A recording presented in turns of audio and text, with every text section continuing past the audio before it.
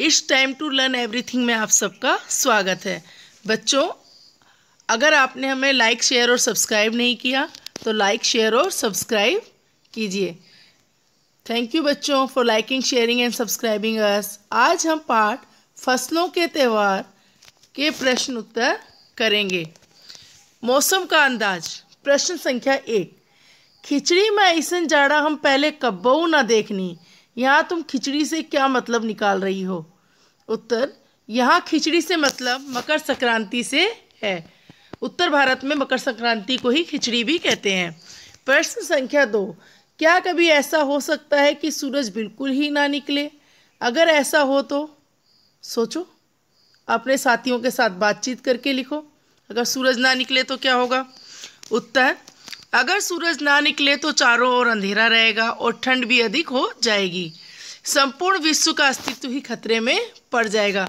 बच्चों, सूरज नहीं होगा, गर्मी नहीं होगी बिल्कुल भी तो धीरे धीरे हर तरफ़ ठंडक बढ़ती जाएगी और हो सकता है पूरी पृथ्वी ही नष्ट हो जाए एक दिन। प्रश्न संख्या तीन। बाहर देखने से समय का अंदाज क्यों नहीं हो पा रहा था? जिनके पास घड़ी नहीं होती, वे समय का अनुमान किस तरह लगाते हैं? उत्तर बाहर सूरज नहीं निकला था, इसलिए समय का अंदाज नहीं हो पा रहा था।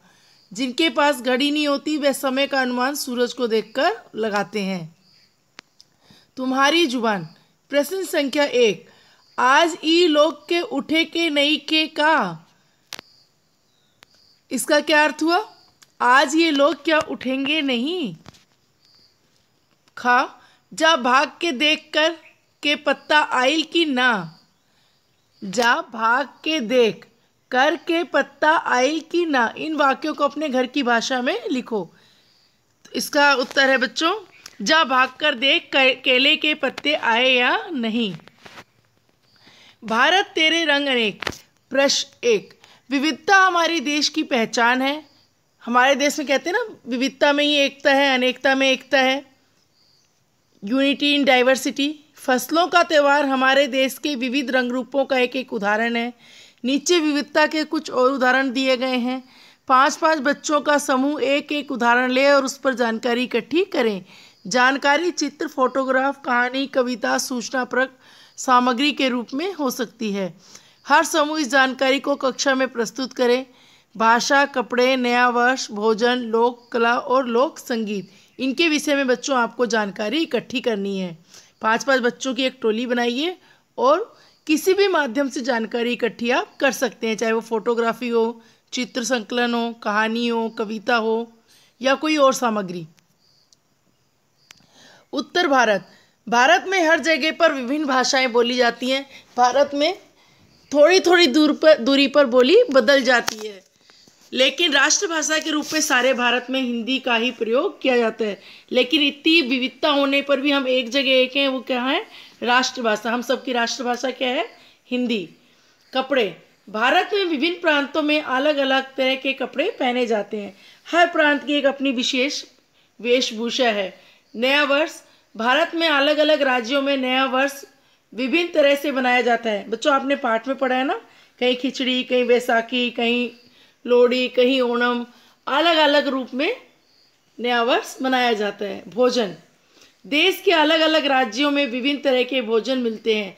हर राज्य की कुछ एक स्पेशलिटी होती है, खास खाद्य पदार्थ और खास भोजन होते हैं हर राज्य के। जैसे हमारे उत्तराखंड उत्तराखंड की बाल मिठाई, राजस्थान का दाल बाटी चूरमा, इस तरह हर राज्य की कोई ना कोई अपनी स्पेशल डिश होती है। लोक कला भारत को अलग अलग राज्य में विभिन्न कलाएँ विद्वान हैं जो भारत की संस्कृति को बनाए हुए हैं। हर राज्य की अपनी एक लोक कला भी है। लोक संगीत भारत के सभी राज्यों के अलग अलग लोक संगीत है। लगभग हर राज्य का अपना एक लोक नृत्य, लोक संगीत, लोक कला है। अगला प्रश्न, संख्या दो। तुम्हें कौन सा त्यौहार सबसे अच्छा लगता है और क्यों?